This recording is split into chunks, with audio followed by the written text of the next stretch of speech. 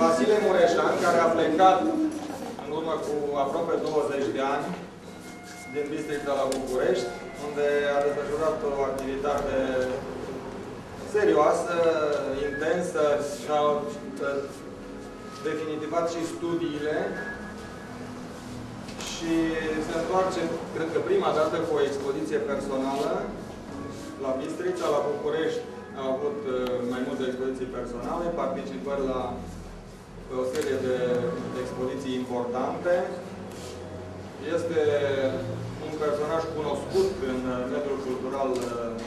bucureștean și uh, el a vrut să vorbească despre el și despre lucrările lui pe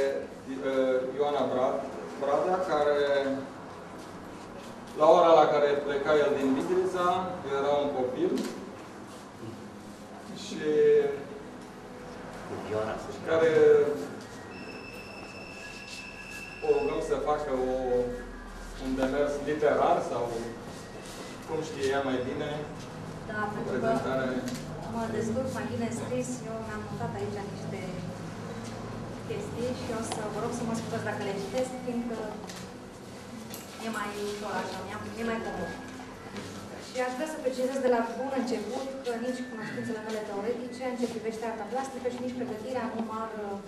recomanda de persoana potrivită ca să vorbesc la inaugurarea unei expoziții. Uh, de aceea am primit cu oarecare surprindere uh, invitația lui Vale de a vorbi, dar probabil pentru că artistul nu se poate delimita niciodată de dimensiunea umană a ființei, motivat de a preferat un portret mai degrabă uman, înfățișat de mine aici, în locul unei radiografii critice a uh, tablourilor din această galerie. Întâmplarea a făcut ca destinul meu să se desfășoare încă de la începutul, cumva în paralel cu destinul individuale, care pentru mine a început să existe odată cu orele de vioară de care îl pomenea și el, la care mă chinuiam să ajung prin anii 80, când el mi-a părea permanent cocosat pe o scară uriașă, pictând plin de elan zidurile nesimțitoare de la Poșta Veche.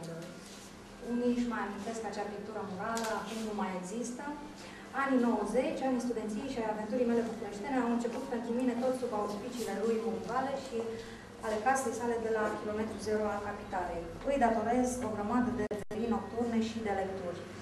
pe terasa casei respective. Ceea ce mi s-a părut întotdeauna fascinant la figura lui Murivale a fost nebunia curajul, generozitatea și libertatea cu care a ieșit în întâmpinarea oamenilor din jurul lui. Oameni care de multe ori nu l-au vrut, l-au criticat, l-au alungat sau l-au grăfit pe alocuri. Fascinant mi s-a părut și felul în care și-a transformat casa în muzeu, într-o dimensiune atemporală în care exteriorul pentru el a devenit interior, colorat, senin, transparent, cu obiecte modelate în ritmul unor cântece ale sufletului său, greu de înțeles sau acceptat. Fascinantă și bucuria cu care a împărțit mereu tot ce a acumulat spiritual de-a lungul anilor,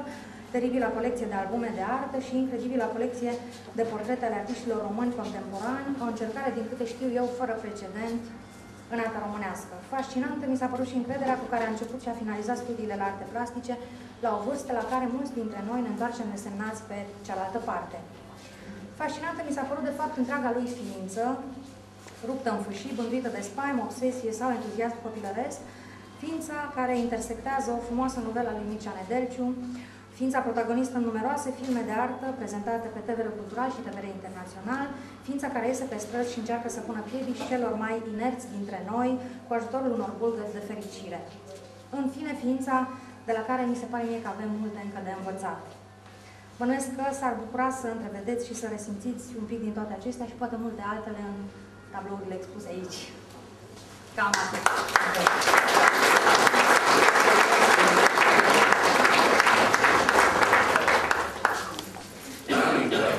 da, mi-au trecut emoțiile, trebuie să-mi pun uh, geanta asta care nu e chiar de poștă. Uh, am niște scrisori pentru noastră, nu știu cine mi le-a dat, uh, plecând de la o lucrare pe care de ani de zile o, o, o dezbrac, o îmbrac, pentru că acolo, la kilometrul zero, în Cureștiului, e un spațiu unde provocarea m-a trimis către o direcție de a plecat de la un citat faimos, Sixtina lui Michelangelo, unde de 4-5 ani, cam din 2000, am avut intervenții în spațiu, deci intervenții pe propria casă, de a, de a mai picta peisajul. Și de unde deci am făcut această intervenție, apoi decalcări, monotipuri, unele de pânze, ce le am în expoziția aceasta sunt, să zicem, la doua tipărire a monotipului și o altă lucrare care era o lucrare de tip acțiune, am trecut într-o galerie bucureșteană, am făcut o acțiune în care am spălat un plafon, pur și simplu cu martori și uh, unde am făcut niște inserții în fotogram. Uh, îmi vinea să povestesc despre o vreme când eram uh, domnul inginer Alexandru Facaș, un martor, poate și dintre noastră, când eram uh, telefonist, îmi cer scuze, telefonul care a dispărut de acolo de piciorul stâlpului de la UDRT, uh, iar era foarte greu la vizita și 40 de grade, nu funcționa, pentru că era un secret care nu știam, pe care apoi mi l-a spus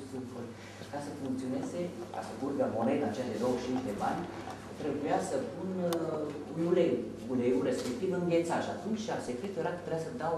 toate firele, nu firele, canalul respectiv cu slănină. Vă rog, e una din amintirile mele frumoase la care nu mă închipuiam eu că peste 20 de ani o să fac o expoziție în acest spațiu foarte frumos o al spun un mai mult. Da. Ce-ți plăcea mai mult, telefonia sau slănit? Ca să facă o A, Ca să facă o Pictură. Cer scuze. Și cam asta este, vă invităm, dar am zis să vin cu niște scrisori, le-a dat cineva. O să fie așa, nu sunt foarte multe, sunt niște DVD-uri pe care aici, de fapt, munca cea mai, mai grea, pentru că sunt, uh, deci e un DVD